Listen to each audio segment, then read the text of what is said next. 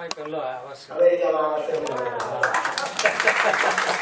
શરૂઆત અહીંયાની. અહીંથી જાય યા એટલે વિચાર કરીએ છે કે આવતા વર્ષે આપણે ભાગવત સપ્તાહ સાત દિવસની રાખીશું એમનો અને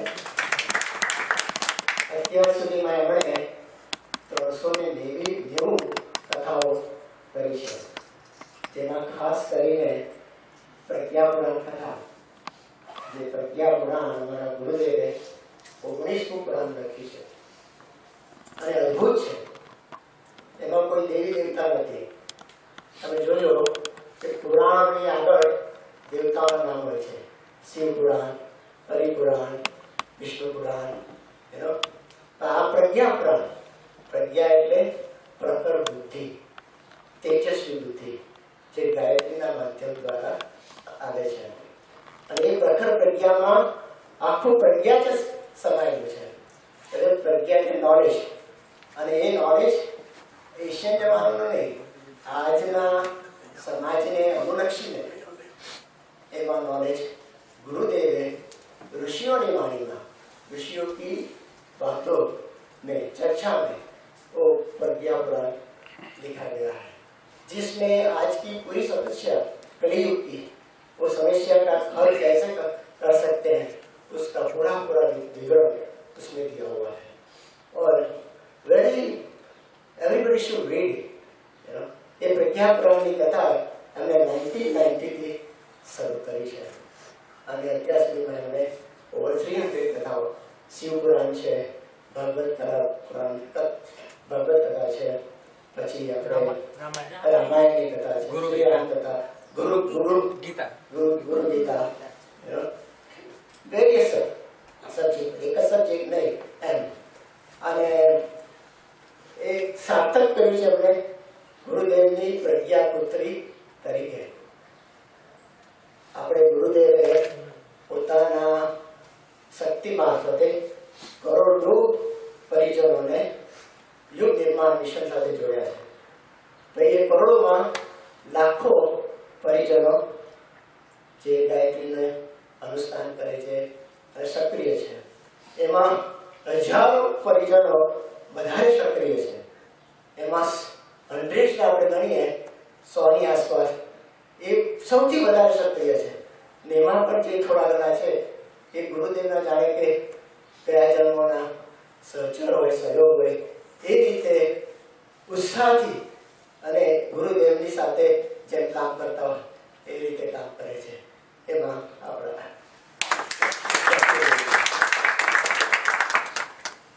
એટલે ગુરુદેવે કહ્યું હતું કે મારા આગલા ત્રણ જન્મોના જે પણ મારા સહયોગી છે સરકારી છે, એમને આ જન્મમાં પણ મારી સાથે લેતો આવ્યો છું.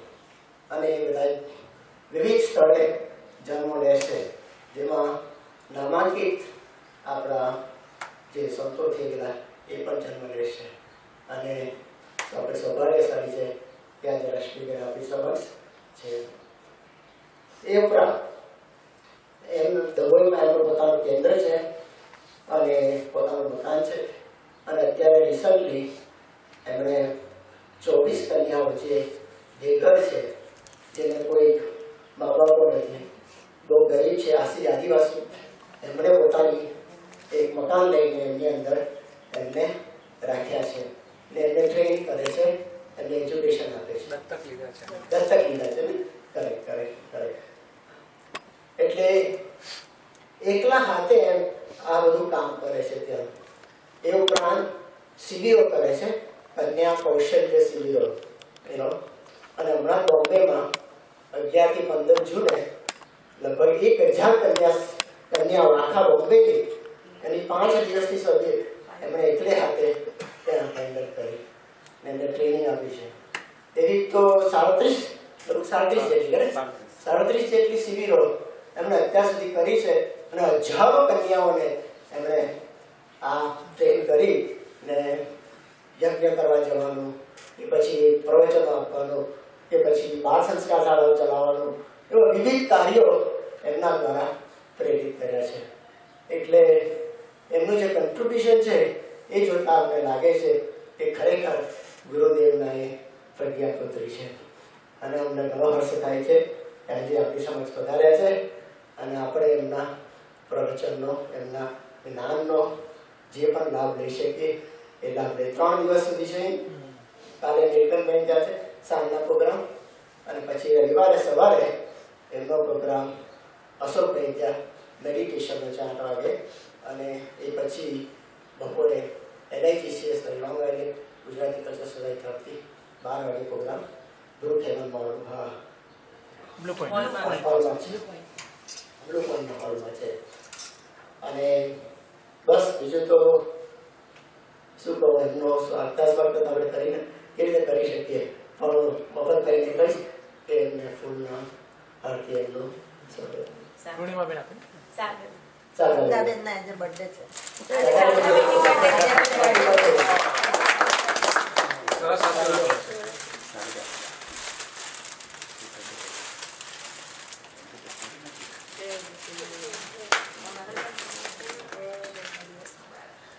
સરસ. મફત પ્રેમને મફતભાઈ તમે એમના હસબન્ડ ભરતભાઈ. ભરતભાઈને સ્વાગત કરે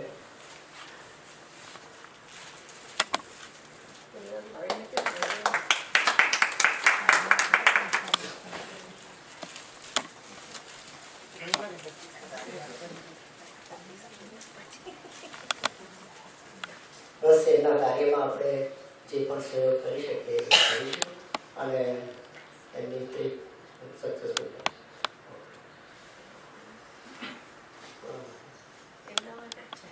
એમના માટે જ પ્રજ્ઞાબેન પ્રજ્ઞાબેન પ્રજ્ઞાબેન, પ્રજ્ઞા. હા. પ્રજ્ઞા અમારા પ્રજ્ઞાને તો એક સ્તંભ જેવા છે.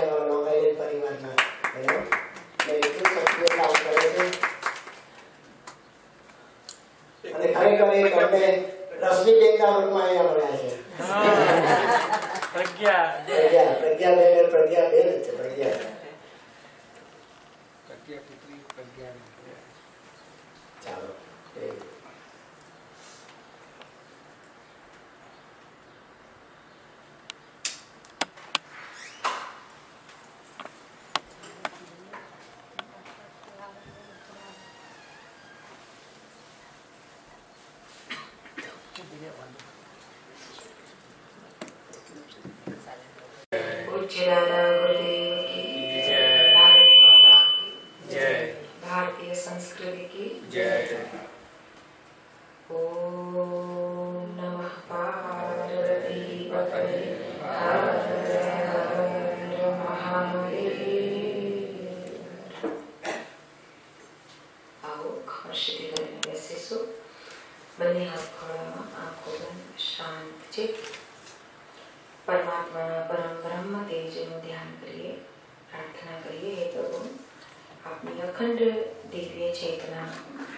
સૌના હૃદયમાં સ્થિર બને.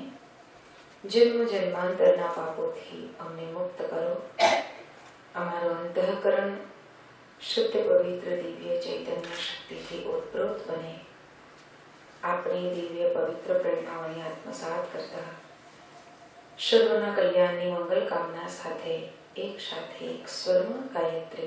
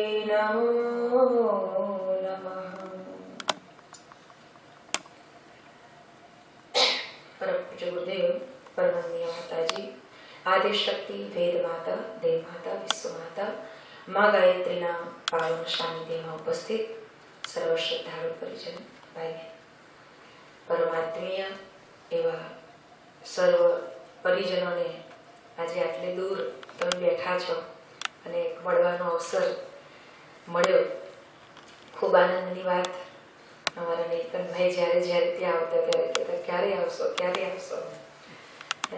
અને આજે આવો સરસ મોકો મળ્યો મફતભાઈ પ્રવીણભાઈ પૂર્ણિમાબેન. સૌના અંતરની એક લાગણી હતી, એક ભાવના હતી કે આપને ક્યારે મળીએ. અને કહેવાય ને કે હૃદયની ભાવના હોય ને તો ભગવાન પૂરી કરે. અને આજે એ આપણી ભાવના પૂરી થઈ રહી છે. ખરેખર તમને જેટલો આનંદ છે, એટલો આનંદ અમને પણ છે. કે આટલે દૂર વસેલા આપણા ભારતીય ભાઈ બહેનો અને એમાં પણ એક સદગુરુની પ્રેરણાથી જે કાર્ય, નાનું મોટું કોઈ પણ કાર્ય, ભાઈએ બધી વાત કરી, પણ એમાં આપણે એક નિમિત્ત છીએ કામ કરાવનાર તો સદગુરુ છે. અને એ બધાનો સાથ છે. ત્યારે આપણે કાર્ય કરી શકીએ એક કાર્ય કરતા કરતા આગળ વધીએ છીએ, ત્યારે એક આનંદ થાય કે ચાલો આટલે દૂર બેસીને પણ એમાં પણ તમે આટલા બધા વ્યસ્ત, છતાં પણ તમે આટલું સરસ કામ જે અહીંયા સંભાળી રહ્યા છો, ખરેખર એટલો બધો આનંદ થાય. અને એમાં એ ભારતીય સંસ્કૃતિ માટે જે ગુરુદેવે પોતાનું જીવન ખપાવી દીધું કે દેવ સંસ્કૃતિ દિગ્વિજય. આપણી ભારતીય સંસ્કૃતિ દિગ્વિજય થવી જોઈએ, ચારે તરફ પ્રસરવી જોઈએ. અને એને પ્રસરાવવા માટે આટલા કામમાં વ્યસ્ત હોવા છતાંય જે સ્કૂલ અહીંયા ચાલે છે, એની જે વાત કરી કે સ્કૂલમાં આટલા બધા બાળકોને તમે બહુ સારામાં સારું ભાથું જે આપો છો, એ અત્યંત મહત્વનું છે. કારણ કે એ જે કામ છે, એ બિલકુલ નિસ્વાર્થ છે. બીજ વાવવાનું કામ છે. બીજ જ્યારે વવાય છે, ત્યારે વૃદ્ધ સિત્તેર એસી વર્ષના વડીલ જ્યારે એક આંબો વાવે છે, ત્યારે રમતા રમતા એક બાળકે પૂછ્યું કે, દાદા, શું કરો છો? તો દાદાએ કહ્યું કે બેટા આંબો વાવું છું. તો એ છોકરો હસવા માંડ્યો. સાથે એના મિત્રો હતા, એ પણ હસવા માંડ્યા. કે કેમ હસે છે બેટા તો? દાદાએ પૂછ્યું. તો કે, દાદા, તમે અત્યારે આંબો વાવો છો, તમે તો આટલા ઘરડા થઈ ગયા. હવે તમે તો એની કેરી લાગશે તો ખાવા તો રહેવાના નથી. અને ત્યારે દાદાએ જવાબ આપ્યો હતો કે, બેટા, આ આંબો ઉગશે, મોટો થશે. એ કેરી મારે ખાવા માટે આંબો નથી વાવતો. એ તો તમને ખાવા માટે હું આંબો વાવું છું. તમારે એની કેરી ખાવાની છે. બસ એવી જ રીતે બીજ વાવવાનું કામ તમે કરો છો કે આવનારા સમયમાં ભવિષ્યની અંદર આ બાળકોના ભીતરમાં જે ગાયત્રી ઋતુંભરા પ્રજ્ઞા શક્તિનો અંશ પડશે ને, એ આવતા દિવસોની અંદર એ આંબાની કેરીઓની જેમ ચારે બાજુ ઝૂમી ઉઠશે અને બધાને મીઠાશથી ભરી દેશે. નિસ્વાર્થ સેવા. અને એ સેવા ખરેખર ગુરુદેવના સાચા બાળકો કરી શકે. અને જે આટલે દૂર રહીને તમે એને સંભાળ્યું છે, ખરેખર ખૂબ સરાહનીય છે.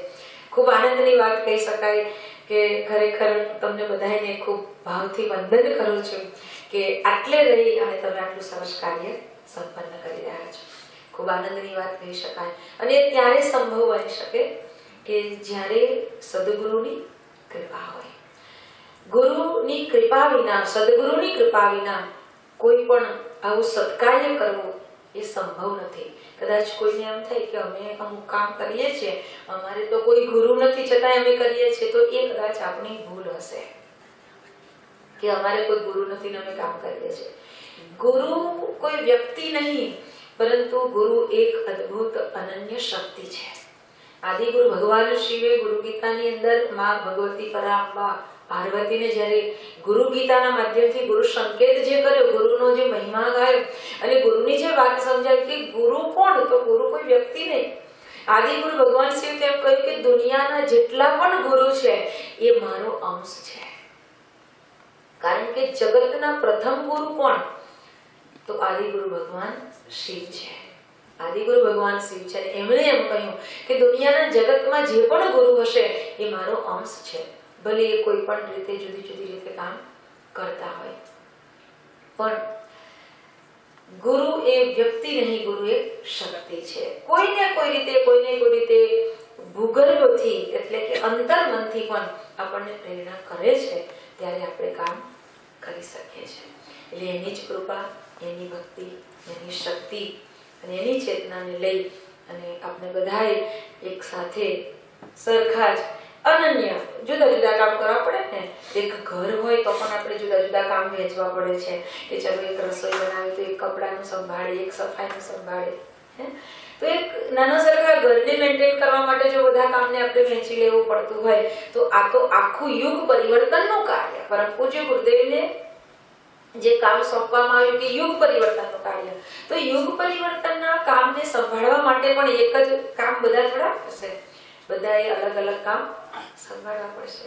અને આપણને બધાને આપણી પાત્રતા પ્રમાણે પરમ સત્તા, ગુરુ સત્તાએ જે જે કામ સોંપ્યા, એ બધા કામ આપણે કરતા રહીએ છીએ. કોઈ પણ કામને નાનું ન સમજો ગુરુદેવ કહેતા કે બેટા, આ મિશનનું કોઈ પણ નાનામાં નાનું કામ જે વ્યક્તિ કરે છે, એ નાનું નથી. ગમે તે કામ કરીએ છીએ એ દરેક કામ પોતાની જગ્યાએ એટલું જ શ્રેષ્ઠ છે. દરેક કાર્ય પોતાની જગ્યાએ એટલું જ શ્રેષ્ઠ છે. કારણ કે બધા જ કામ થશે તો જ એ યુગ નિર્માણનું સંભવ બની શકશે. એ ઘર હોય કે નાનું સરખું કોઈ સાધન હોય આપણું મિક્સર લઈ લો કે ફ્રીજ લઈ લો કે ટીવી લઈ લો, એની અંદર જે પાર્ટ્સ છે, એમાં નાનામાં નાના પાર્ટ્સની પણ એટલી જ ઇમ્પોર્ટન્ટ છે, એટલું જ મહત્વ છે. જો એક નાની સરખી, એક ખીલી પણ જો એમાંથી નીકળી જાય, એક સ્ક્રૂ નાનું નીકળી જાય, તો બધું અનબેલેન્સ એટલે દરેકનું એટલું જ મહત્વ છે. અને એટલે આપણને બધાને જે અહીંયા રહીને કામ કરતા જોયા અને અમારા નીલકંઠભાઈ જ્યારે આવે, ત્યારે તમારા બધા કામની વાતો કરે કે અમે એટલે અત્યારે આ કામ ચાલે છે, અમારા પ્રજ્ઞાબેન આ કરે છે દીપાબેન આ કરે છે અમારા પૂર્ણિમાબેન આ સંભાળે છે. બધાની વાતો કરતા હોય એટલે આમ થાય કે કેટલું સરસ કહેવાય કે આટલે દૂર રહીને પણ તમે કામમાં વ્યસ્ત હોવા છતાં આટલું સરસ કામ બાકી આપણને ખબર છે કે આપણા ભારતમાં બધી જ પ્રકારની ફેસિલિટી છે આવા કામ કરવા માટે. છતાં પણ દરેક વ્યક્તિ આ સંભાળી શકતી નથી. નબળા બેઠેલા વ્યક્તિ હોય છતાં પણ આપણે કહીએ ને કે આજે જરા યજ્ઞ છે, આવજો ને સ્વાધ્યાય છે, આવજો ને. તો પણ એમ વિચાર કરે કે જોઈએ હવે અવાસે તો આવીશું. કેમ? સુલભ છે. ત્યાં આ બધી વસ્તુ ઇઝીલી મળી જાય છે. એટલે લોકોને એટલી કિંમત નથી. જ્યારે અહીંયા અમે ગયા વર્ષે આવીને ગયા અને જોયું તો લોકો બબે કલાકનું ડ્રાઈવ કરીને પણ એ સત્સંગમાં લાભ લેતા. અને પોતે કેટલું આખું આઠ કલાકનું જોબ કર્યું હોય, બે કલાક ડ્રાઈવ કર્યું હોય, પછી આવીને ત્યાં બેસતા તો એટલા ફ્રેશ પાછા. અને એટલું એક અંતરમાં ઉમળકો કે ક્યાંક વળે ક્યાંક વળે. એક તરસ, એક તડપણ અહીંયા જોઈએ. કારણ કે અહીંયા આ વસ્તુ દુર્લભ છે. આ વસ્તુ અહીંયા દુર્લભ છે. અને એટલે જ સંતોએ એને કહ્યું છે કે અહીંયા આપણે જોઈએ કે સંત સમાગમ હરિકથા તુલસી દુર્લભ હોય, સુત દારા પર લક્ષ્મી વહ પાપી કે કરવી હોય. સુત એટલે પુત્ર, દારા એટલે પત્ની અને લક્ષ્મી એટલે આપણી સંપત્તિ. સુત દારા ઓર લક્ષ્મી. વહ તો પાપી કે ધર્મી હોય તો પાપ કરનારા વ્યક્તિના ઘરે પણ આ ત્રણ વસ્તુ તો મળે મળે ને મળે.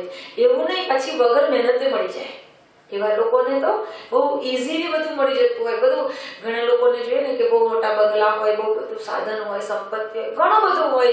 ત્યારે લોકો એમ કહેતા હોય કે આ હારું કેવું કામ કરે, છતાં એને આટલું બધું અને અમે આટલું બધું પીડાઈએ, આટલું કામ કરીએ, આટલી સેવા કરીએ, આટલું તોય અમને કોઈને કોઈ દુઃખ હોય હોય ને હોય જ. ઘણા એમ કહેતા હોય કે આવી ફરિયાદ કરતા હોય કે હારું, મારા ઉપર જ જાણે ભગવાન કાંઈ રૂઠી ગયા હોય એવું લાગે છે. મારા ઉપર જ આટલી બધો એનો તાપ કેમ વરસે છે? મારી ઉપર જ એને કેમ આવી બધી આપત્તિઓ એને મારા ઉપર કેમ મૂકી છે? ઘણા એવું ફરિયાદ કરતા હોય. અને આને જુઓ કે કોઈ કામ કરતો નથી અને ઉલટા આવા ખોટા ધંધા કરે તોય એને આટલું સારું. પણ આપણને ખબર નથી કે એની પાસે જે સારું છે, એ તો આ બધી સંસારની વસ્તુ ગૌણ છે.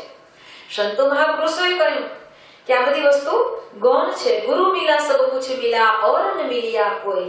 પણ સદગુરુ જેને મળી ગયો એને સમજી લેવાનું કે બધું મળી ગયું બાકી આ આવી બધી વસ્તુ દુનિયાની જે વસ્તુ છે, સંસારની જે વસ્તુ છે, એ તો આપણા કોઈ પૂર્વ જન્મના કર્મ છે અને આ જન્મના કોઈ કર્મ છે, એને લઈ સંસારમાં શાસ્ત્ર એમ કહે છે કે સંપત્તિ અને પુત્ર સુખ એ તો આપણા પૂર્વ જન્મના કર્મને આધીન છે. એના માટે આપણે મહેનત બહુ કરવી પડશે નહીં. એ તો ઇઝીલી આપણે કંઈ કરીશું અને આપણને એ મળી જશે.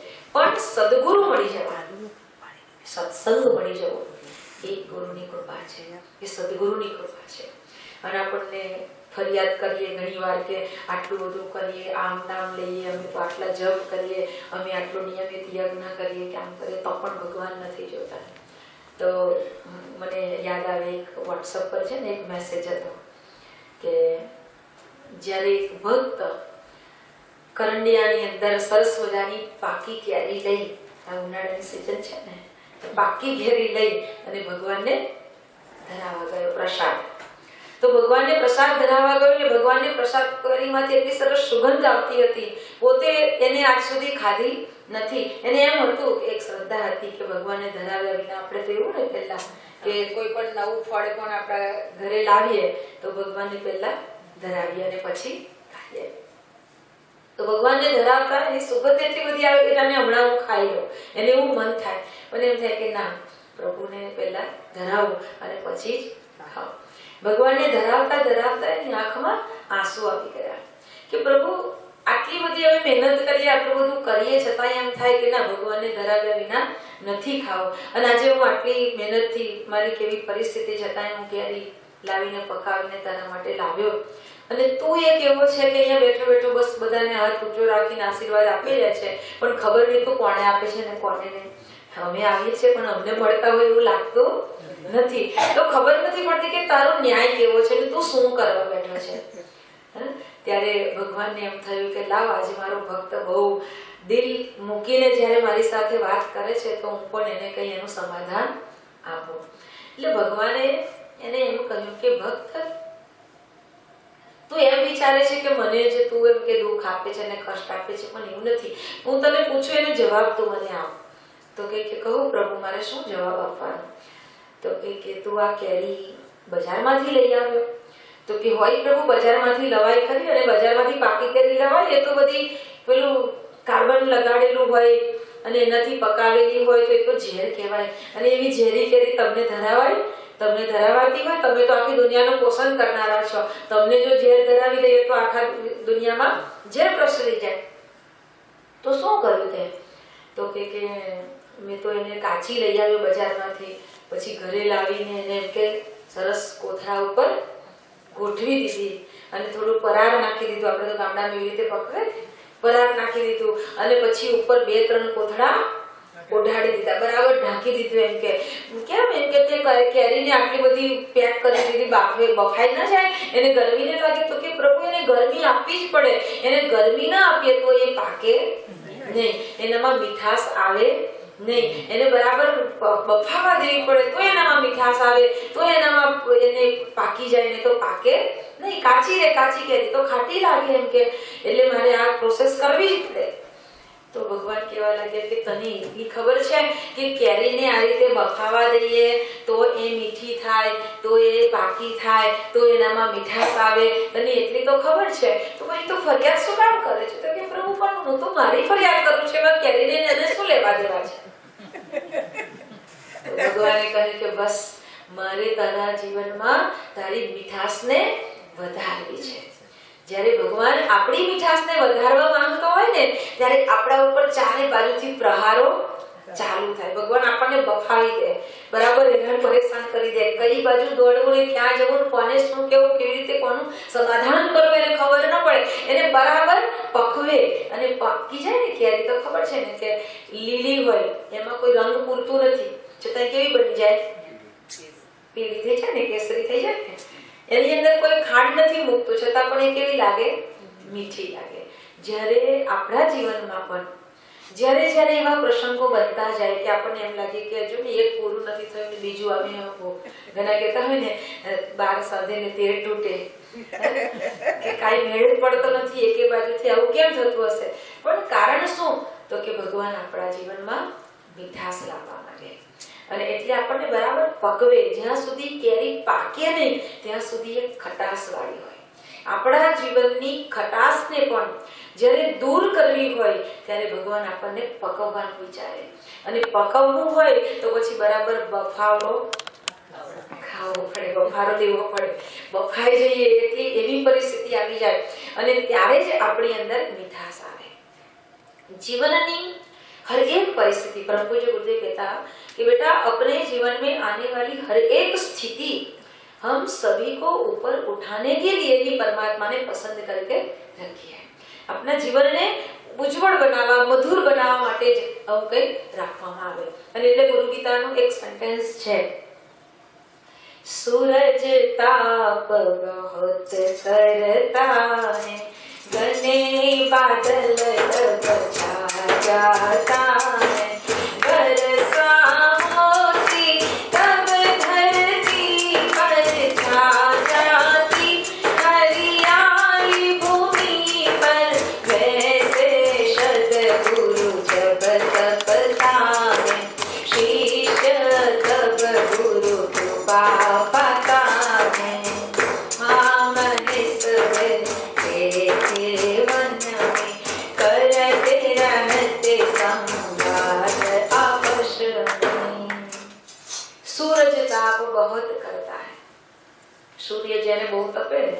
બહુ ગરમી લાગે ને, એટલે તમને ખબર હશે કે બે દિવસ જો ગરમી પડે એટલે સમજવાનું કે વરસાદ પડશે. અહીંયા તો એવું, તરત જ એનો જવાબ આપી દે. ગરમી થાય એટલે સમજવાનું કે વરસાદ પડશે. એટલે સૂર્ય જ્યારે તપે ત્યારે આદિગુરુ ભગવાન શિવે સતીને સમજાવ્યું કે હે ભગવતી, હે સતી, જ્યારે સૂરજ બહુ તપતો હોય ને, ત્યારે ધરતીને ગરમી લાગે, ધરતીના માણસોને ગરમી લાગે, પશુ પક્ષી બધાને એનો તાપ સહન કરવો પડે. પણ જો સૂર્ય તપે નહીં તો ધરતી તપે નહીં. ધરતી ન તપે તો ધરતીને પાણીને સંગ્રહ કરવાની ક્ષમતા વિકાસ ના થાય. સૂર્યના કારણે ધરતી તપે, સૂર્યના કારણે સમુદ્રના પાણીની વરાળ બને અને ત્યારે વાદળો બને અને ત્યારે વરસાદની સંભાવના કલ્પના આપણે કરી શકીએ.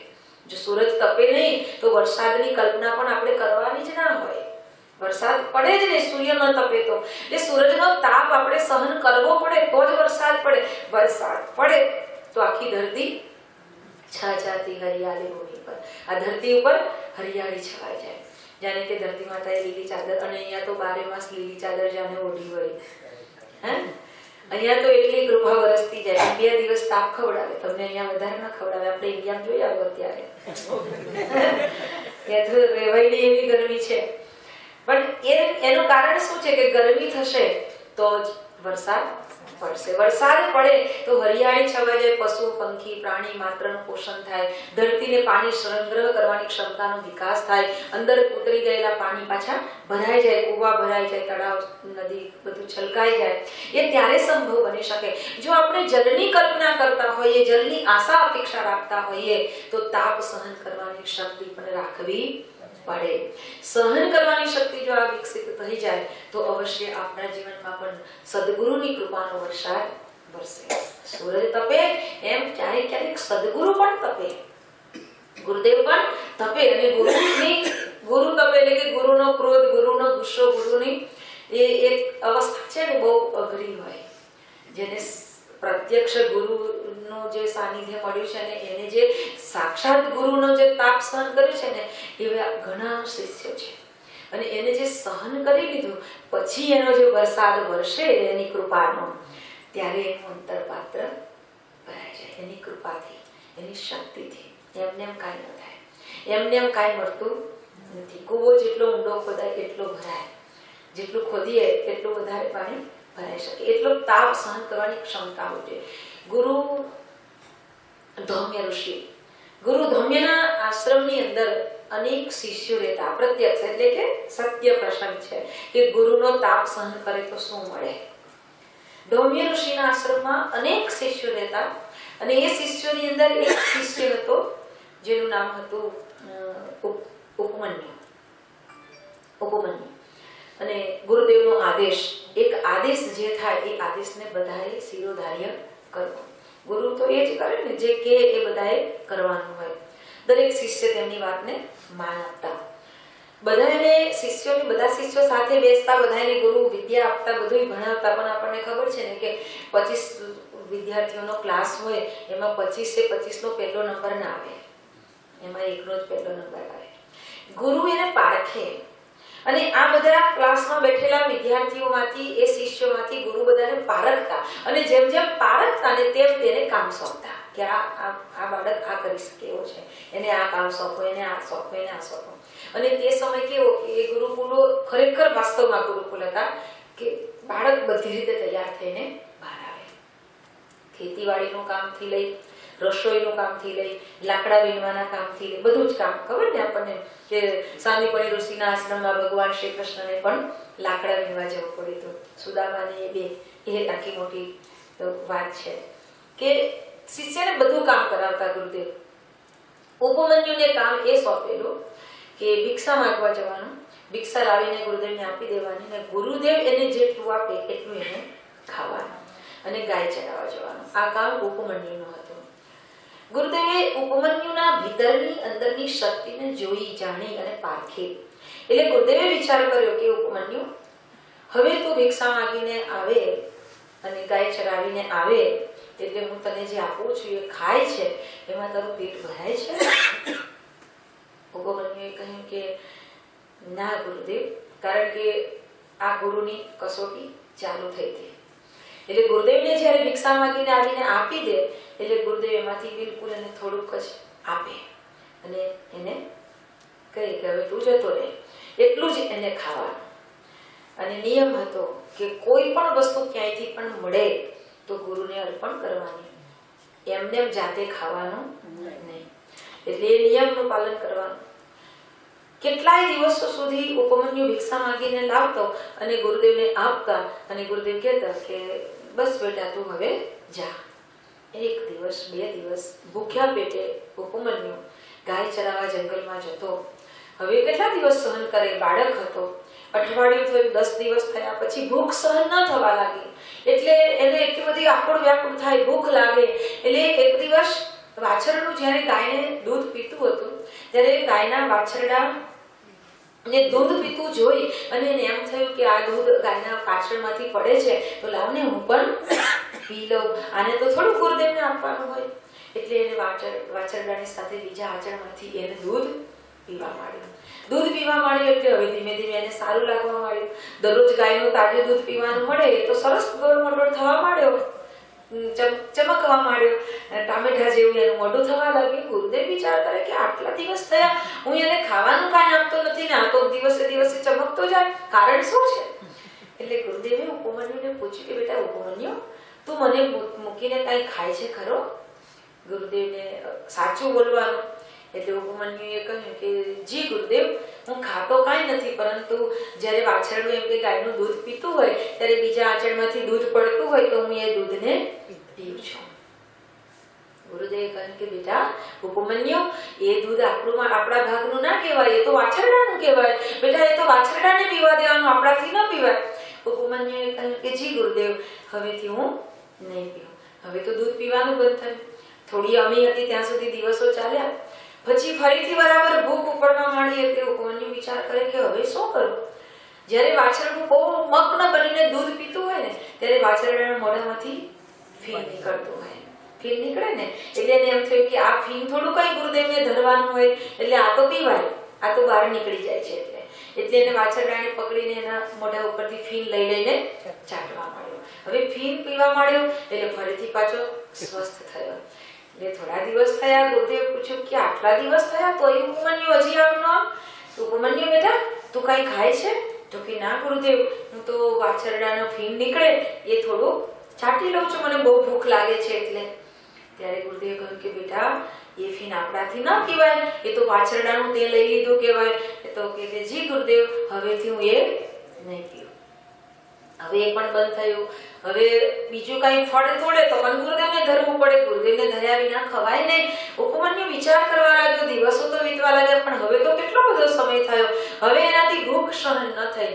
અને છેવટે એને એટલી બધી ભૂખ લાગી ત્યારે જંગલમાં ગાય ચરાવતા ચરાવતા કેટલીક વનસ્પતિ હતી. એના પાંદડા તોડીને એને ખાઈ લીધા. પાંદડા ખાઈ લીધા એમાં કેટલાક પાન ઝેરી હતા. એટલે એને ખાવાથી એને આંખે દેખાતું બંધ થયું સાંજ થવા આવી એવું એને ખબર તો પડી એટલે એને ગાયોને હાંકવા માંડી કે ઘર તરફ જવા માટે, આશ્રમ તરફ જવા માટે.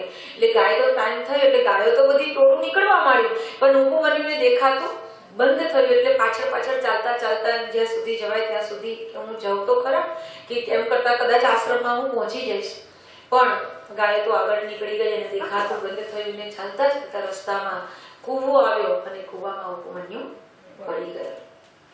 કૂવામાં પડેલા ઉપમન્યુએ બૂમો પાડવા માંડી કે, ગુરુજી ગુરુજી, મને બચાવો, ગુરુદેવ, મને બચાવો, ગુરુદેવ, મને બચાવો. ને બાજુ ગાયો એકલી આશ્રમમાં ગઈ એટલે ગુરુજીએ તપાસ કરી કે આ ઉપમન્યુ નથી આવ્યો ગાયો આવી ગઈ. થોડી વાર રાહ જોઈ, તોય ઉપમન્યુ ના આવ્યો. હવે ગુરુદેવ આપણું વ્યાકુળ થવા માંડ્યા કે, મારા ઉપમન્યુને શું થયું હશે?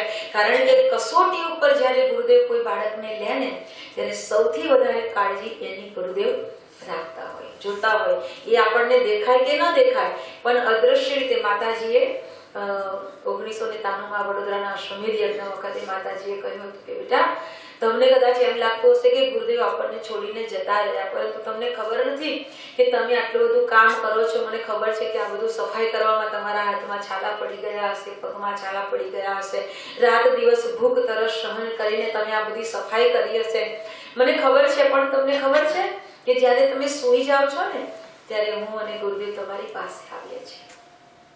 તમારા માથા ઉપર હાથ ફેરવીએ છે બેટા, તમને કાંઈ થવા દઈશું નહીં. ગુરુની એ શક્તિ કામ કરતી હોય. એટલે ગુરુદેવ આપણને દેખાય કે ન દેખાય, પણ એની એક શક્તિનું વાતાવરણ આપણી, આપણને પોષણ આપતું હોય. તો ઉપમન્યુને ન જોતા ગુરુદેવને આપણ વ્યાકુળતા થવા લાગી કે ક્યાં ગયો હશે? અને તરત જ માનસ લઈ અને બે ચાર બાળકોને લઈ અને ગુરુદેવ શોધવા નીકળ્યા. જંગલ તરફ ચાલવા લાગ્યા. બેટા ઉપમન્યુ ઓ બેટા ઉપમન્યુ એને બૂમો પાડવા લાગ્યા કે ઉપમન્યુ ક્યાં ગયો હશે? ઉપમન્યુ ક્યાં ગયો હશે? અને શોધતા શોધતા શોધતા અંદર જંગલમાં ગયા અને ઉપમન્યુ તો એક ધારો બૂમ પાડતો હતો કે ગુરુજી ગુરુજી, હું અહીંયા કુવામાં પડ્યો છું, મને બચાવજો. થોડીક બૂમ અણસાર ગુરુદેવને આવ્યો અને ગુરુદેવ એ તરફ ગયા. જોયું કે ક્યાંથી અવાજ આવે છે. ધીમેથી કૂવામાંથી નીકળતા અવાજને સાંભળી અને ગુરુદેવ શિષ્યોને લઈને ત્યાં ગયા. ગુરુદેવે કૂવામાં ફાનસ ધરી બેટા, ઉપમન્યુ, તું અંદર છે? હા, ગુરુજી, હું અંદર પડ્યો છું અને મને દેખાતું નથી. ગુરુજી, મને માફ કરજો. આજે મેં તમારી આજ્ઞા લીધા વિના મેં કેટલીક વનસ્પતિના પાન ખાઈ લીધા. મને બહુ ભૂખ લાગી હતી અને કદાચ એ વનસ્પતિના પાનને ખાવાથી મારી આંખો જતી રહે છે, મને જોતી નથી, મને દેખાતું નથી. હવે મને- માફ કરી અને મને બચાવો. ગુરુદેવ, મને ખૂબ બીક લાગે છે, મને બહાર કાઢો. ત્યારે ઉપમન્યુને ગુરુદેવ કહે છે કે, બેટા, તું ચિંતા ન કરીશ, હું તને હમણાં બહાર કાઢું છું. અને ગુરુદેવે શાંત ચિત્તે ધ્યાન કરી અશ્વિની કુમારોને બોલાવ્યા. અને અશ્વિની કુમારો આવ્યા, કુવામાં જઈ અને ઉપમન્યુને બહાર લઈને આવ્યા. ઉપમન્યુને બહાર લઈને આવ્યા. એની સાથે સાથે અશ્વિની કુમારે ઉપમન્યુની આંખો ઉપર હાથ ફેરવી અને ઉપમન્યુની દ્રષ્ટિ પાછી આપી છે. ઉપમન્યુ ગુરુદેવને જોવા લાગ્યો અને ગુરુદેવે ઉપમન્યુને જોયા અને ગુરુદેવના ચરણોમાં ઉપમન્યુ પડી ગયો. કે ગુરુદેવ, આજે મારાથી ભૂલ થઈ, મને માફ કરી દો. ત્યારે ગુરુ ધમ્ય ઋષિએ ઉપમન્યુને ઉઠાવી લીધો, ગળે લગાવી દીધો, છાતીએ લગાવી દીધો કે બેટા ઉપમન્યુ, માથે હાથ ફેરવતા ફેરવતા કહેવા લાગ્યા કે આજે તો તારી કસોટીમાંથી પાસ થયા. તું પાસ થયો છે બેટા. તારે ઉપર હું ખૂબ ખુશ છું, પ્રસન્ન છું બેટા. તારી એક શક્તિઓને ખીલવા માટે, અનેક શક્તિઓને ખીલવા માટે તારી પરીક્ષા ચાલતી હતી બેટા. તું એમાં પાસ થઈ ગયો. હું તારા મુખારબિંદ ઉપર વેદનો પ્રકાશ જોઉં છું. એમ કહીને જ્યારે ધમ્ય ઋષિએ ઉપમન્યુના માથા ઉપર હાથ મૂક્યો, ત્યારે ગુરુદેવની શક્તિનો ધોધ એ ઉપમન્યુના સહસ્ત્રારમાંથી એના અંતઃકરણમાં સ્થિર બનવા લાગ્યો. અનેક જ્ઞાનનો પ્રકાશ ઉપમન્યુના ભીતરની અંદર ઉતર્યો અને તેનું શરીર આખું અંતઃકરણ ચમકવા લાગ્યું. ઉપમન્યુને પોતાને અનુભવ થયો કે પોતે કોઈ શક્તિ સ્તોત્રથી ભરપૂર ભરાઈ ગયો છે. ગુરુદેવ કહેતા કે, બેટા બિના કુછ દિયે हमें कुछ भी नहीं मिल सकता है छोटी सी चीज भी अगर हम बाजार में ले जाके खरीदते हैं तो उसका भी हमें कुछ दाम देना પડતા है આ સંસારમાં મફત કાંઈ મળતું નથી જે કંઈક આપણે લેવું છે તેને મેળવવા માટે કંઈક આપણે આપવું પડે છે પણ એક સદગુરુ એવો છે કે જે આપણને વગર માંગે આપણી યોગ્યતા પ્રમાણે આપણી પાચક શક્તિ પ્રમાણે એ આપણને આપતો રહે એના જેવો સમર્થ, સદગુરુ જેવો દયાળુ, સદગુરુ જેવો કૃપા નિધાન આ સંસારમાં બીજો કોઈ છે એ આપણને કંઈક આપે અને એટલે જ સદગુરુની એ અનન્ય કૃપાને આપણે આત્મસાત કરીએ કે આપણી, આપણા માથે એનું ઋણ છે. સદગુરુનું આપણા માથે ઋણ છે. જન્મો, જન્માંતરના ઋણી બન્યા છીએ આપણે અને એટલે જ ગુરુદેવ આપણને પસંદ કર્યા છે. ગુરુદેવ એમના પ્રવચનમાં કહેતા कि बेटा आपको मालूम नहीं है। मैंने आपको चुन चुन के पसंद किया है कैसे पसंद किया है, बेटा, आपको मालूम है? जैसे सुनार की दुकान देखी है, सोनी? सुनार की दुकान देखी है, बेटा? सोनार की दुकान में काम करने वाला जो सोनार होता है ना, वो अपनी दुकान का कूड़ा कचरा कभी भी गटर में नहीं डालता है। कभी भी गटर में नहीं डालता है। वो उसको एक टोकरी में रखता है। फिर उसको तपा के उसमें अगर कुछ भी सोने का कण गिर गया है तो उसमें से वो निकाल लेता है और उसमें से अच्छे से अच्छा दागिना घरेना बना दे एम गुरुदेव कहता है कि बेटा, मैंने भी आपको ऐसे चुन चुन के पसंद किया है, जैसे वो तो सुनार तो अपनी घर में से निकलने वाली गंदी गटर की नाली होती है ना, उस नाली का जल भी वो छन्नी में गाड़ता है, निकालता है। फिर उसमें से जो कुछ कण निकल जाते हैं, उसको वो पसंद ले लेते हैं। उसी तरह हमने आप तो गंदी गटर की नाली में बहने वाले जीव की तरह थे, लेकिन हमने सुनार की भांति आपको चुन चुन के पसंद करके लिया है। और हमारे काम में લખા દિયા હે ગુરુદેવનું આપણા માથે એટલું બધું ઋણ છે કે ખરેખર એની એ કૃપા એની કરુણાને કઈ કઈ વાતને આપણે યાદ કરીએ કે ગુરુદેવ અમે કેવા ગંદી ગટરની નાલીમાં પડેલા જીવો હતા અને એ જીવોને તમે કેટલાય ભૂલો કેટલી કેટલાય પાપો આપણાથી થયા હશે છતાં એમને આપણને ઉપર ઉઠાવ્યા અને જ્યારે પહેલી વાર ઓગણીસો ને બાણુંની સાલમાં શાંતિકુંજ અમે ગયા ત્યારે માતાજીના પ્રવચન બાદ માતાજીએ કહ્યું કે બેટા आपने आप अपने आप नहीं आए हैं आपको हमने बुलाया है इसलिए आप यहाँ आए हैं ત્યારે ખરેખર અંતર એટલું ભરાય આવતું કે કયો સંબંધ હશે કયો નાતો હશે કયા જન્મનો હશે કે માતાજી આપણને અહીંયા બોલાવ્યા અને એટલું જ નહીં પણ છેલ્લે माताजी एम कहे कि बेटा आपको दो पर्ची दी जाएगी दो पर्ची दी जाएगी एक में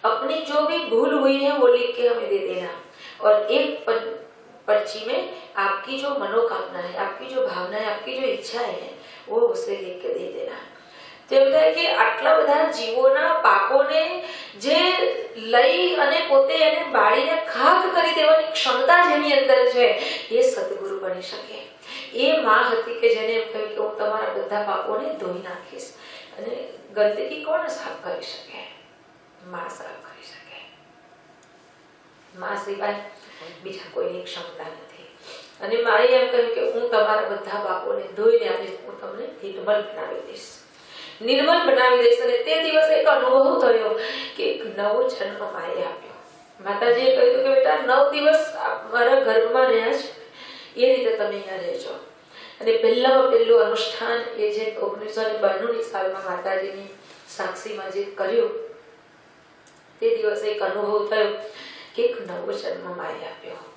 નવ દિવસ શાંતિકુંજના પરિસરમાં રહી, માતાજીના દર્શન દરરોજ કરી અને નીકળતા તો નવ દિવસ કે નવ મહિના જેમ માતાના ગર્ભમાં બાળક તૈયાર થાય, એ રીતે મારે તૈયાર કરી અને અમને નવમાં ઓગણીસો ને બાણુંની સાલથી માતાજી અમને સંસારમાં મૂક્યા. અને જ્યારે છેલ્લા દિવસે માતાજી પાસે ગયા માતાજી કહ્યું બેટા, શું જોઈએ? ક્યાં ચાહતી હો માગ લે? તો એમ થાય કે તમે માં મળ્યા હોય, મને હવે શું માંગવાનું હોય? બસમાં છેલ્લા શ્વાસ સુધી ગુરુદેવનું કામ કરાવજે. તો માતાજી એટલા પ્રસન્ન થઈ ગયા એમ કહ્યું કે, બેટા સુખી રહો.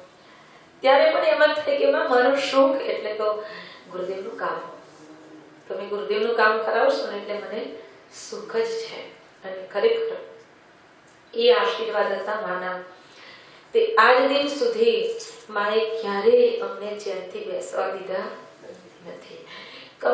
કેવળ ભારતમાં નહીં, પણ અમેરિકા જ્યારે આવવાનું થયું ને, મારી બંને ડોટર અહીંયા છે, ત્યારે પણ એમ થાય કે ત્યાં જઈને શું કરીશું અમે? ગુરુદેવ, અહીંયા તો તમારું આટલું બધું કામ કરીએ, પણ ત્યાં અમેરિકા તમે અમને લઈ તો જાઓ, પણ ત્યાં અમે શું કરીશું? પણ તમે નહીં માનો.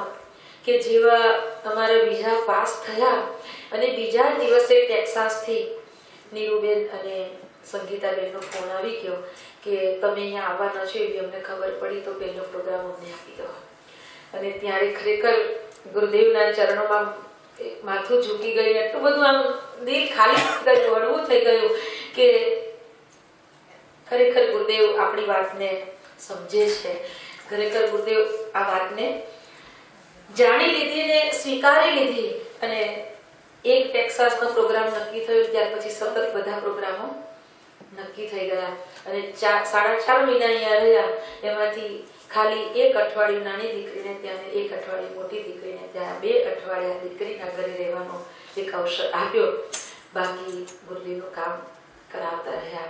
અને ખરેખર એમ કહેવાય કે એની કૃપા ત્યારે જ આપણને લાગે કે એમની સાથે ને સાથે આપણને રાખે. આ વખતે પણ આવ્યા. હજી દસ દિવસ થયા છે. પછી આ ઓગણત્રીસમી તારીખે ઉતર્યા ને દસમી તારીખે અમે અહીંયા આવી ગયા એમાં અમારા મોટા કાકાજી એક્સપાયર થઈ ગયા એટલે જઈ આવ્યા પાંચ દિવસ. એટલે પાંચ જ દિવસ દીકરીની સાથે રહેવાનું થયું. એટલે દીકરી પણ વિચાર કરે કે, તું અમારી પાસે તો રહેવાની જગ્યા રાખ. તો મેં કહ્યું મને નહીં કહેવાનું. એ તો તમારે અહીંયા જ માગી લેવાની એ મારા હાથમાં નથી. એ આ રજા આપશે તો રહેવાશે. અને એ રાખે એટલું રહેવાનું. બેટા, એમાં આપણે સંતોષ. પણ એટલો સહયોગ છે કે અમને અહીંયા બોલાવી દે અને અહીંયા પણ કામ કરવા મોકલી દે. અને આપણા બધા ભાઈઓ બહેનો મળી જાય. ગુરુદેવની વાતોની વાગોલવાની થાય. તો ખરેખર એમ આનંદ થાય કે જન્મો જન્મના ઋણી સદગુરુના ઋણમાંથી આપણે કેમ કરીને મુક્ત કરી ગુરુદેવ કહેતા ને કે બેટા, તું મારી વાતો તો કરીને જો. હું તારી વાણીમાં वर्चस्व न भरी दो तो तू મને કહે છે છે ને સૂત્ર કે મેરે लिए खर्च करके तो दे तेरे लिए कुबेर का भंडार न खोल दो तो कहना હે? એમ ગુરુદેવ એનું જે આશ્વાસન છે એના જે વચનો છે એ વચનોને હૃદયંગમ કરતા કરતા આપણે ખરેખર એના કાર્યને લઈને ચાલી રહ્યા છે એની વાતોને આપણે યાદ કરી રહ્યા છીએ આપણું એક પરમ સૌભાગ્ય છે તો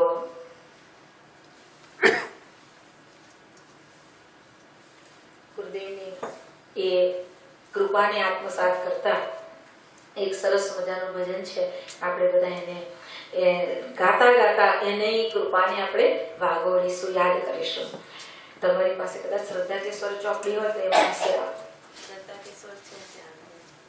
છે ને આપો- આપો બધાને તો સાથે સાથે બધા પણ ગાશે. ગાશે મારા महाराष्ट्र गुरु भगवान्।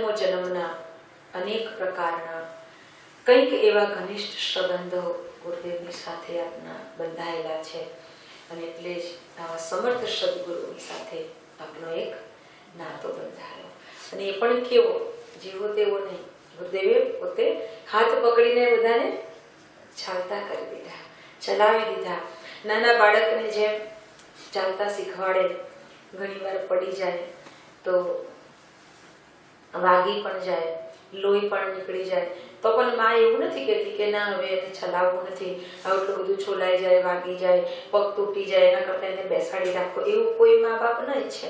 ભલે એને વાગતું ભલે પછડાતું ભલે ગમે તે થાય, પણ એને ચાલતા શીખવે જ એમ ગુરુદેવે પણ આપણને અથડાયા કૂટાયા કેટ કેટલું કોઈએ કેમ કીધું કોઈએ કેમ કીધું. પણ છતાંય જે હોય તે પણ ગુરુદેવ આપણને સતત ચલાવતા રહ્યા ચલાવતા રહ્યા. ગુરુની એ અનન્ય કૃપા છે. સદગુરુ વિના ક્યારેય પણ આ સંસાર ભવસાગર પાર કરવો એ સંભવ નથી.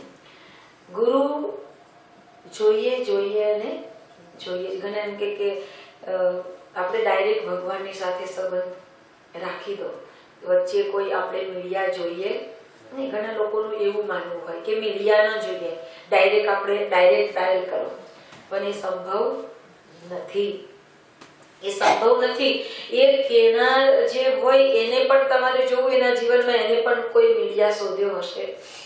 ચોક્કસ. કારણ કે અવતાર પ્રકરણ પણ એવું કહેતા હોય કે અવતારી સત્તાઓને પણ અહીંયા દુનિયામાં આવ્યા પછી એમને પણ ગુરુ કરવા પડ્યા. ગુરુનું માધ્યમ રાખવું પડ્યું. ગુરુનો મહિમા એમને પણ સ્થાપિત કર્યો કે ગુરુની મહિમા ગુરુ વિના તો ક્યારેય આ સંસારી જીવ તો કદી પણ આગળ ન વધી શકે. સમર્થ પરમ પણ પરમાત્મા જ્યારે ઈશ્વરીય શક્તિ જ્યારે માનવ દેહ ધારણ કરીને આવે અને ત્યારે એને પણ ગુરુને આગળ કર્યા. ભગવાન રામે તો એક ને બે ગુરુ કર્યા હતા, હે? નવ વર્ષની ઉંમરે જ્યારે વશિષ્ઠજી પાસે ગયા, ગુરુ ગૃહ ગયે. પઠન રઘુરાઈ અલ્પકાલ વિદ્યા સભાએ તુલસીદાસજી મહારાજે બતાવ્યું કે ભગવાન રામ પણ ગુરુના દ્વારે ગયા હતા વિદ્યા માટે. કારણ કે ગુરુના દ્વારે ગયા વિના વિદ્યા મળી શકે નહીં. અને એ ચોક્કસ આ પૂતળું છે ને, કે મને નહોતું લાગતું કે આ ડફોડમાં ડફોડ ઠોઠમાં ઠોઠ કાંઈ કરી શકશે. પણ એ જે ગુરુના દ્વારે ગયા ને પહેલી વખતે ઓગણીસો ને બાણુંની સાલ, અને એ સમયે જ્યારે ગુરુદેવને કહ્યું કે ગુરુદેવ, મને તો કાંઈ આવડે નહીં, ખાલી ગાયત્રી મંત્ર આવડે છે મારા પૂજ્ય પિતાજીના પિતાશ્રી તરફથી. ખાલી ગાયત્રી મંત્ર મળેલો છે, બાકી મને કાંઈ ખબર નથી. મારા પપ્પા પોતે અનુષ્ઠાન કરતા બધું કરતા. ગુરુદેવનો ફોટો, ગાયત્રી માતાનો મોટો ફોટો અને ગુરુદેવનો નાનો ફોટો ત્યાં બાજુમાં રાખતા. તો ખુદ અમે ભણતા ત્યારે એમ થતું કે આ ગાયત્રી માતાની પૂજા કરીએ તો બરાબર કહેવાય, પણ આ દાદાને શું કામ અહીંયા બેસાડ્યા હશે? એ ખબર નથી કે આ કોણ છે. પણ જ્યારે ગુરુદેવે જ્યારે હાથ પકડીને જગાડી ચાલતા કર્યા ત્યારે તો પછી પારાવાર પશ્ચાતાપ વિના બીજું કાંઈ હતું નહીં. કાંઈ આવડતું નહોતું. પણ એ ગુરુદેવને કહ્યું કે હવે અમે તો બિલકુલ ખાલી છે, કોરી સ્લેટ છે. હવે તમે જે ઈચ્છો ને એ આમાં ભરો. અને એ ગુરુદેવે ભર્યું. અને એ ગુરુદેવની કૃપાની ગુરુદેવની શક્તિ, ગુરુદેવની પ્રેરણા આ બધા કામ કરાવી રહ્યા છે. કામ કરાવતા ગયા ગુરુદેવની એની પ્રેરણા થતી જાય ને એમ કામ થતું જાય. સમયે સમયે જ્યારે જ્યારે કોઈ એવો સમય આવી પડે કોઈ કામ અટકી પડે ત્યારે એવી વ્યક્તિ આવી જતી અને એ કામ કરી જતી. અને એ પ્રત્યક્ષ અનુભવો અમારા જીવનમાં છે. અમારી પાસે પૈસા નહોતા કે આપણે એક કેન્દ્ર બાંધી શકીએ બનાવી શકીએ. ડભોઈમાં કોઈ કેન્દ્ર નહોતું એટલે એમ થયું કે આટલા બધા જ્યારે ભેગા થઈએ છીએ રોડ ઉપર બેસીને સ્વાધ્યાય કરતા હોય, તો ચોમાસામાં બંધ થઈ જાય એટલે ચેન ના પડે. એક ચોમાસામાં તો આમ શું શું થઈ ગયું. પછી એમ થયું ગુરુદેવ, આટલા બધા તારા બાળકોને બેસવાની કંઈક છત જો જોઈએ ને? પણ અમારી પાસે એવા પૈસા નથી કે અમે બનાવી શકીએ. પણ તમે જો ઈચ્છતા હોય તો કૃપા કરજો ને કરાવડાવજો. માગીએ કોઈની પાસે નહીં પણ એવી વ્યક્તિ મોકલતા ગયા ગુરુદેવ. અને કામ થતું ગયું.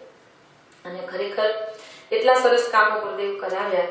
ગુરુદેવ કહેતા કે બેટા ભગવાન हमको तीन संपदा लेकर भेजते हैं ભગવાને આપણે ત્રણ સંપત્તિ આપીને દુનિયામાં મોકલ્યો છે ખાલી હાથે નથી મોકલ્યા ગુરુદેવના પ્રવચનમાં છે એક આપણને ગુરુદેવ ગુરુદેવ કહેતા કે એક આપણને ભગવાને સમય આપ્યો છે શ્રમ આપ્યો છે અને બુદ્ધિ ક્ષમતા આપી છે આ ત્રણ વસ્તુ ભગવાન તરફથી મળેલી છે અને ચોથી વસ્તુ જે આપણે જોઈએ છે કામ માટે એ છે સંપદા ગુરુદેવ કહેતા કે બેટા એક સંપદા ચોથી ચીજ છે અને એ ચોથી વસ્તુ તો તમે આ દુનિયામાં આવ્યા પછી મેળવો છો ખાલી હાથે જ આવ્યા ને પણ આ ત્રણ વસ્તુ સાથે લઈને આવ્યા હતા આપણે સમય શ્રમ અને બુદ્ધિ આ ત્રણ આપણે લઈને આવ્યા હતા આ ત્રણ લઈને જન્મ દરેકનો જન્મ આ ત્રણ સંપદાની સાથે થાય છે गुरुदेव कहता कि ये तीन संपदा भगवान को दी हुई है और चौथी संपदा जो आप यहाँ आकर प्राप्त करते हैं वो है संपत्ति संपत्ति અહીંયા આવીને મેળવીએ છીએ गुरुदेव कहता कि बेटा मैंने अपने जीवन में मेरे गुरु से जो कुछ भी प्राप्त किया है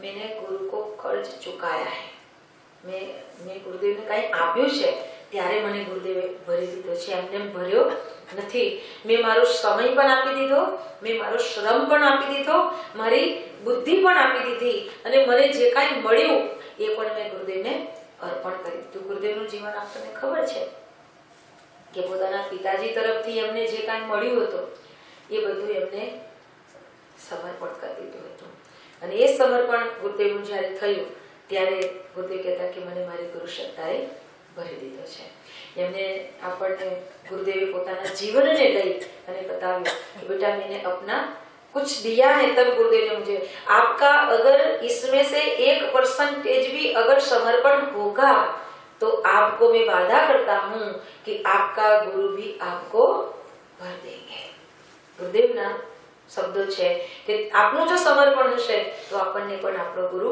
ભરી દેશે એક જીવનમાં આપણને ત્રણ વસ્તુ કરવાની આવે એક દર્પણ એક અર્પણ એક તર્પણ અને ચોથું આવે સમર્પણ દર્પણ એના માટે છે આપણા બધાના માટે દર્પણમાં આપણે ચહેરો જોઈએ છે. અને દર્પણ કદી કદી જૂઠ બોલે નહીં ના બોલે. જેવું હોય એવું જ બતાવી દે મોઢા ઉપર કદાચ કોઈ ડાઘ પડેલો છે. આપણને દર્પણ બતાવે છે કે તારા મોઢા ઉપર ડાઘ છે તો આપણે દર્પણને નથી તોડતા. પણ ડાઘ દૂર કરીએ છીએ એવી જ રીતે સમાજને એક દર્પણના રૂપમાં જોજે અને જ્યાં તને કોઈ તારો ડાઘ બતાવે તો એના ઉપર ચિંતન કરજે. અને એને કદાચ એવું લાગે કે આ વસ્તુ બરાબર નથી, કે આ વસ્તુ બરાબર છે. તો જ્યાં તને સુધારો વધારો કરવા જેવું લાગે, કરીએ ને આપણે, ડાઘ પડી ગયો હોય તો આપણે ડૉક્ટરને બતાવીએ કે ભાઈ કઈ ટ્યુબ લાવીએ, કે કયું લગાવીએ, કે શું કરીએ, એમ આપણે ઈલાજ કરીએ. એમ આપણો ઈલાજ એટલે કે સમાજને દર્પણના રૂપમાં જોજે. અર્પણ. અર્પણ કોને કરવું? તો કે જેને આપણને સમાજ, આ સંસારમાં આપણને લાવ્યા. મા બાપ છે, આપણો ફેમિલી છે. એને આપણે અર્પણ એટલે કે એના માટે પણ આપણું જીવન હોવું જોઈએ. ગુરુદેવ કહ્યું કર્તવ્ય કિંતુ શ્રેષ્ઠ હે યહ આપને બતાયા. કર્તવ્યનું કર્તવ્ય પરાયણતા આપણા પરિવાર માટેની જે છે, એના માટે આપણું અર્પણ હોવું જોઈએ. અર્પણ આપણા પરિવાર માટે હોવું જોઈએ, ચોક્કસ હોવું જોઈએ. આપણે બધા ઘણી દુનિયામાં આપણે જોઈએ છીએ કે બધાનું દર્પણ કેવું છે? તો પોતાની દ્રષ્ટિથી જોવાનું દર્પણ છે. અર્પણ કેવું છે તો પોતાના પરિવાર સિવાય બીજે ક્યાંય અર્પણ થતું નથી. ઘણા ફેમિલી આપણે જોઈએ છીએ, ઘણા પરિવાર આપણે જોઈએ છીએ કે પોતાના પરિવાર સિવાય એ બીજા બીજા માટે કાંઈ કરવા માટે તૈયાર નથી. માત્ર ને માત્ર અર્પણ પોતાનું ફેમિલી પણ અર્પણથી આગળ વધો એટલે આવે તર્પણ. તર્પણ કોણ કરાય? તો આપણને ખબર છે કે પિતૃઓ માટે આપણે તર્પણ કરીએ છીએ.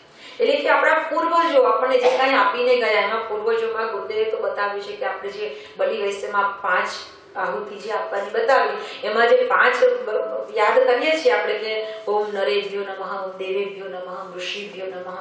એ જે પાંચ તત્વો જે છે, જે સંસારને કેટલું બધું આપીને ગયા, એના માટે તર્પણ. એટલે કે એ ઋષિ પરંપરાને ફોલો કરવી અને આ સંસારને એવો બનાવવા માટે પ્રયત્ન કરવો, એ આપણું તર્પણ બને.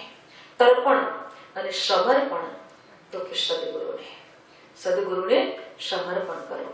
જો સદગુરુ પ્રત્યે સમર્પણ થઈ જાય, તો અવશ્ય ગુરુનો અંતઃકરણ આપના ઉપર વરસવા લાગે આપણા ઉપર સદાને માટે, આપણા માટે ધબકતું હોય એવો અહેસાસ, એવો અનુભવ આજે કરોડો પરિવાર કરી રહ્યો છે. આપણો અખિલ વિશ્વ ગાયત્રી પરિવારના કરોડો પરિજન ભાઈ એ અનુભવ કરી શકે છે કે જાણે કે ગુરુદેવ મારા માટે જ છે. કે ગુરુદેવ મારી સાથે જ છે. ગુરુદેવ મારું આ કેટલા લોકોના, કેટલા પરિજનોના ભાઈ બહેનોના મોઢે આ વાત જ્યારે સાંભળે ત્યારે એમ થાય કે ગુરુ એ વિરાટ ચેતના. ગુરુદેવ કહ્યું છે કે બેટા છેલ્લા સમયે સન બે ઓગણીસો ને નેવુંમાં ગુરુદેવ પોતાનું સ્થૂળ શરીર ત્યાગ કરી દીધું. અને તે સમયે ગુરુદેવના અંતિમ વચન હતા કે હું જતો નથી, પરંતુ હું સૂક્ષ્મ શરીરને ધારણ કરી, મેરે સોએ હુએ બચ્ચો કો જગાને જા રહા. અને નેવું પછી એ પરિવાર એટલો જાગ્યો છે, એટલો વિસ્તાર પામ્યો છે નેવું સાલ પછીનો પરિવાર. એટલે જબરજસ્ત પરિવાર, બહુ મોટો પરિવાર થયો. બાકી એના પહેલાનો જે સમય હતો જ્યારે અમે ભણતા હતા, તે સમયે જ્યારે કામ કરતા મારા પપ્પા લોકો, ત્યારે પંચ- પંચકુંડી યજ્ઞમાં બેસાડવા માટે વ્યક્તિને બહુ આજીજી કરવી પડતી કે તમે આવજો ને અમારા પંચકુંડી યજ્ઞ છે, બેસવા માટે આવજો. અને અત્યારે પંચકુંડી યજ્ઞ એટલે તો આપણને બધાને આમ રમકડું લાગે. હે? એક આમ સાધારણ વસ્તુ લાગે. તો આપણે કેટલી, ક્યાં સુધી આપણને પહોંચાડ્યા ગુરુદેવે? કેવી પરિસ્થિતિ હતી ને અત્યારે ત્યાં આપણને પહોંચાડ્યા. કેવું કેવું એનો સંવ્યાપ્ત બન્યો આખો પરિવાર. એક સૂક્ષ્મ શરીર સન બે હજાર સુધી. ગુરુદેવ કહ્યું કે હું સૂક્ષ્મ શરીરમાં સન બે હજાર સુધી રહીશ. અને બે હજાર પછી હું કારણ શરીરમાં સંખ્યાપ્ત બનીશ અને સારા વિશ્વના કણકણમાં હું ફેલાઈ જઈશ. અને આજે એ અનુભવ આપણે હજારો જોજન દૂર રહીને પણ બધા કરી રહ્યા છે કે ગુરુદેવ કણકણમાં વ્યાપ્ત છે. બેટા, જ્યાં બી મુજે પુકારેંગે, મેં વહાં પર પહોંચાઉંગા અહીંયા પણ ગુરુદેવની એ કારણ સત્તા આપણા બધા વચ્ચે ઉપસ્થિત છે. એ સદગુરુની કારણ સત્તાના પાવન ચરણોમાં કોટી કોટી પ્રણામ કરીએ અને આજની વાતને વિરામ આપીએ ખરેખર આપણે યાદ કરીએ તો એમ થાય કે એના સિવાય બીજું કાંઈ આપણને આવડે નહીં તો આમાં મળ્યું પેલું ભજન હૈયામાં તારી ભક્તિ ભરી દે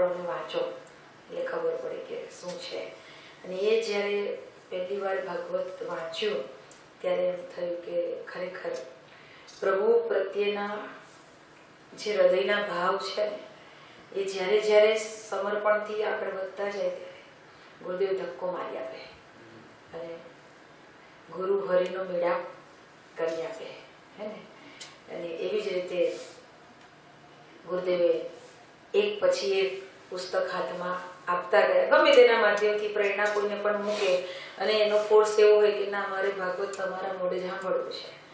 એટલે પછી તૈયારી કરવી પડે.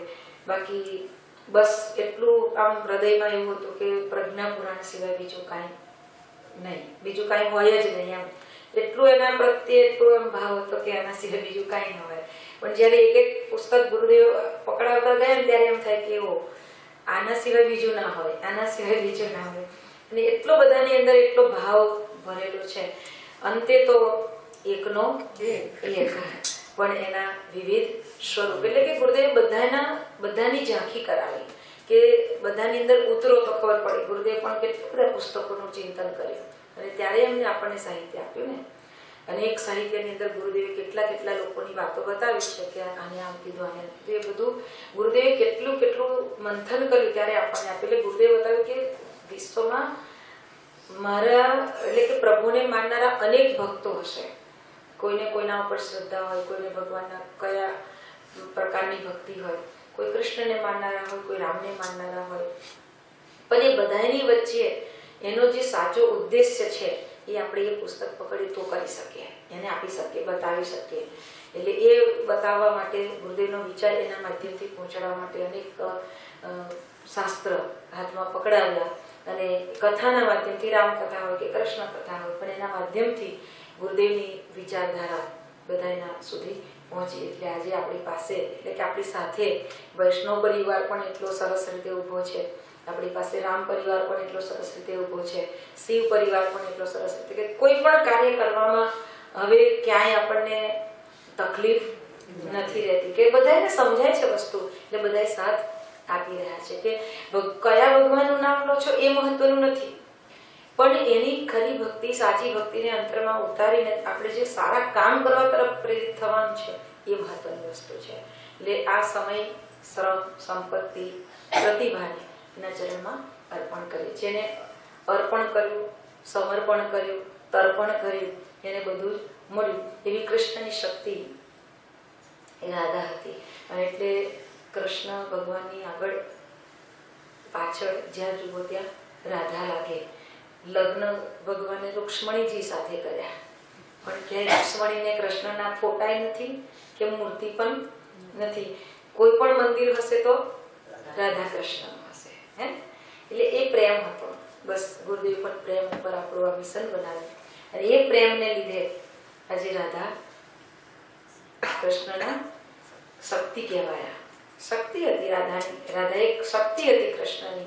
એ તો લૌકિક રીતે આપણે એને સ્ત્રીના રૂપમાં જોઈએ છીએ બાકી એ મારી શક્તિ છે એમ કહેતા ભગવાન કૃષ્ણ. તો એ રાધા કૃષ્ણને, પરમાત્માને આપણે યાદ કરીએ. રાધે કૃષ્ણ રાધે કૃષ્ણ કૃષ્ણ કૃષ્ણ.